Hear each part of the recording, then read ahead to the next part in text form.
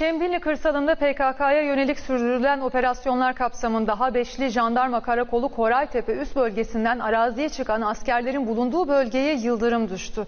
Yıldırımın düştüğü bölgedeki askerlerden Elazığ nüfusuna kayıtlı uzman erbaş Enes Sakınç şehit oldu. Polis Hatay'da silah kaçakçılarının tepesine balyoz gibi indi ama böylesini onlar da beklemiyordu. Tam bir kamyon dolusu silah ve mermi ele geçirildi. El konulan o silahlar emniyet binasını adeta cephaneliğe çevirdi.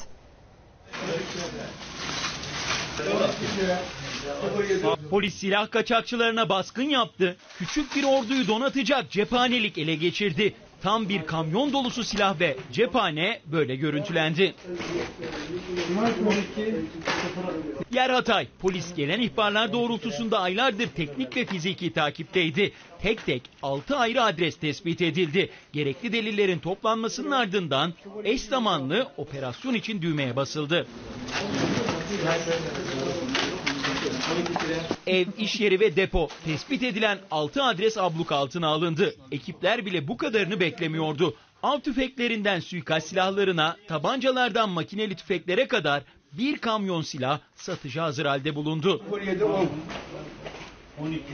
Sadece silah değil, o baskınlarda gençleri zehirleyecek 400 gram uyuşturucu da ele geçirildi. Yine binlerce şarjör ve mermi de silahların yanı başındaydı. Polis hepsine el koydu.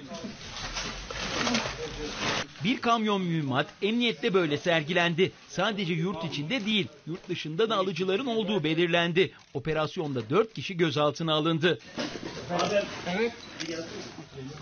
Polis ele geçirdiği bir kamyon silahın ardından şimdi çetenin bütün bağlantılarını deşifre etme peşinde.